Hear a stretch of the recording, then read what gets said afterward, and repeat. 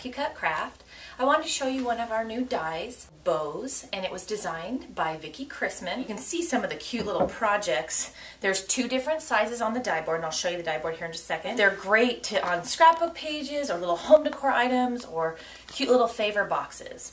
So let me quick show you what the die looks like. So on the die board, there's two different sizes of bows. And so you get the actual bow, the loopy part, and then the tails um, for each size. And then this little um, center part can wrap around the center. So I'm just gonna quick show you how to assemble one. So here I've just cut it out of some, some decorative paper.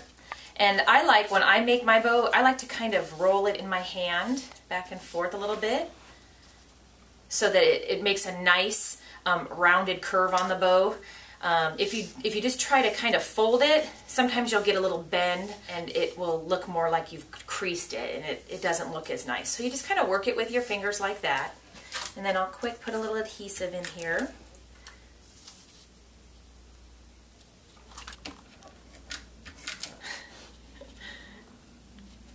Okay, and to give it a nice finished look, you simply put a little more adhesive on the back here.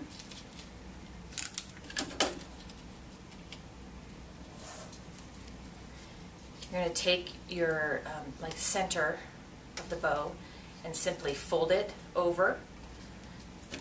And I'm going to put a little adhesive on there, a little more to keep it shut.